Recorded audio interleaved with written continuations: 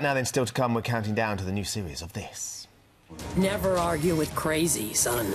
This time I say go with your gut. Thunderbirds. International Rescue is back on our screens this weekend. Helping the Tracy brothers is their grandma, actress Sandra Dickinson. Talks Thunderbirds return. It is eight minutes to eight. 50 years after its first television debut, the Fabulous Five are back again as Thunderbirds returns to our screens this weekend. I absolutely loved it last series. Did you really Loved enjoy it? loved it. Yeah, joining us this morning, though, is the brilliant actress Sandra Dickinson, who is the voice of Grandma Tracy. And she looks a bit like you, doesn't she? uh, in the ITV series, which was launched uh, earlier this year. Let's take a look at her in action. Please tell me you've got something. Scott, I, uh, I have an idea, but it's not what you might consider rational. Never argue with crazy, son. This time I say go with your gut. Hmm. Kale, I want you to try something. I want you to unbuild the station. You want me to what? If we can amplify the disruption signal from the saboteur's device, theoretically, we should be able to completely destroy the hotel. Oh, I love it. So good. Sandra's here with us. So that was you. That's your. Ca- Good morning, by the way. Good morning. Good Lovely to see you. Good morning. That's your character, Yes, I'm playing Grandma Tracy. Grandma Tracy. Yes. And uh, am I right in thinking that when they designed Grandma Tracy, they wanted her to look a little bit like you as well? Well, I, it looks quite different from the original Yes. series, Grandma. Um, I still don't think I look quite like It's her. the hair. It's the hair, isn't it? There. Look, if you put some Maybe the glasses on- yeah. Yes, I nearly wore my glasses, but I thought I'd give you a break. You're on television, you see.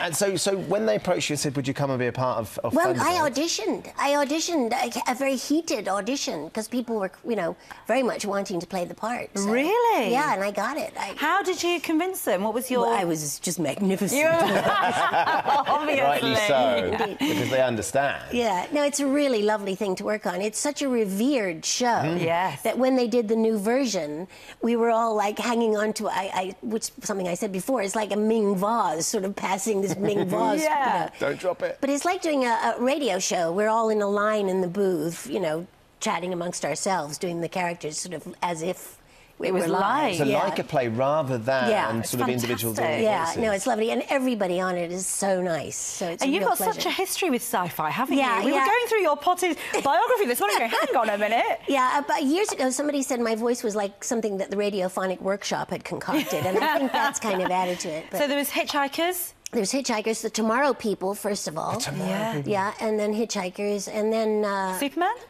Superman and Supergirl, and I mean, uh, just everything. Just you know. Doctor um, Who, of course, had a big impact on yeah, you. Not- yeah, not I just- married five, and my daughter married- married ten. Hang and on. My daughter's a time lady, and my daughter married her father, and you know the fans are. Hang on, just go. go. So some you married There, there's Doctor Five. That's Doctor Who number five. Yeah, There I you are there. him. Yeah, And then your daughter, married Doctor, Doctor Who, Who number number 10, 10. David David Tennant. Tennant. David yeah, Tennant. yeah.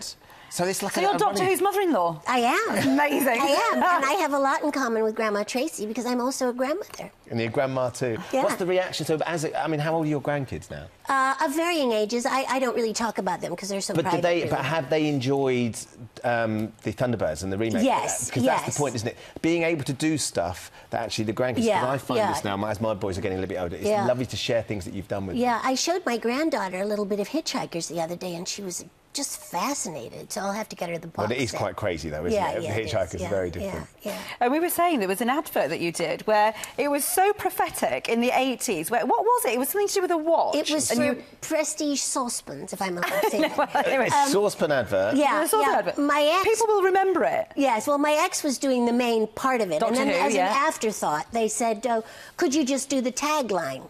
So I said, "Oh, okay, sure." And of course, I've been haunted by that tagline, Which was? uh, "You can put, You put the dinner on, I'll be home in 20 minutes. Yeah, Which yeah. I love. But the thing that was so exciting Yes, about it was that, that he was talking into a watch phone. Indeed, and now for only 400 pounds, Are you angling a for a free bag one? of but that's it. It's brilliant. Brilliant stuff. Sandra, thank you so much for coming in and talking to us this morning. Best luck with the new I didn't series. say half the things I wanted to say. Well, you'll have to come back and I'll say come them back again. tomorrow. Yeah, you go. That'd be We'd have you on every day. I love listening to you. Lovely to Katie. Thank you so much for coming.